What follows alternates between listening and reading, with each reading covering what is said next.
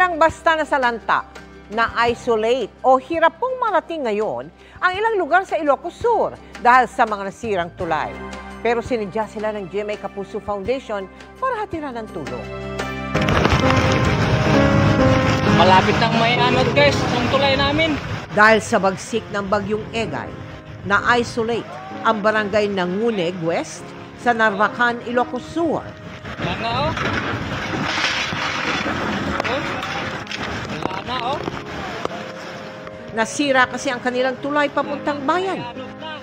Pati ang bahay ng ilang residente, gaya ni Crisanta, sinira ng malakas na hampas ng alon at patuloy na pagbaha. Masakit talaga, parang hindi ko na matanggap, ma'am. Ito nangyayari sa amin.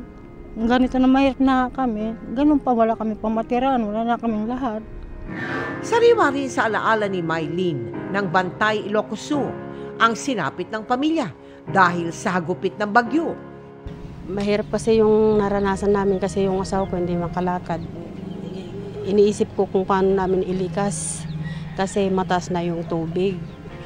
Sa gitna ng kalamidad, ang ating kapuso classrooms sa Narvacan North Central School ang nagsilbing sandalan ng ilang pamilya. Kaya para bigyan sila ng tulong agad tinawid ng GMA Kapuso Foundation ang barangay ng Nguneg West para mamigay ng food packs para sa mga sinalanta ng bagyo. Sa kabuuan, 8,000 residente sa Narvacan at Bantay, Ilocos Sur ang ating natulungan. Mabuti nga nagpunta yung Jamie ngayon wala kami sana. Sinisip pa namin ngayon kung anong kay susunod.